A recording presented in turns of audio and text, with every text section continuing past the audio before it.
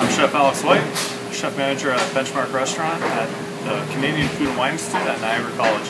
And today we're uh, just cooking up a Christmas dinner for the folks down at Gord's Place where we'll be serving around 450 people uh, Christmas dinner.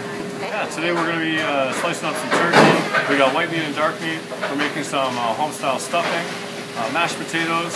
We're doing a berry cobbler and a little bit of mixed vegetables.